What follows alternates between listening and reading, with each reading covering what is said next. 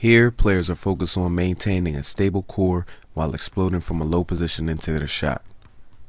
An emphasis was placed on the landing. We wanted players to simulate catching a pass with a two foot landing to give themselves more options while giving the defender less cues to key in on. This is a great drill to build your core and explosion while adding in some pivot work and shoulder fakes to keep the defense guessing.